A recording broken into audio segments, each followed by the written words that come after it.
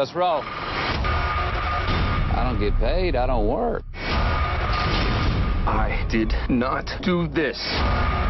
They picked him up with blood all over him. Sure there's not anything that you're not telling me? You have no idea who we are.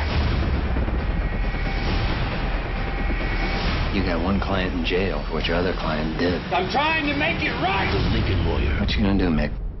In theaters everywhere, March 18th.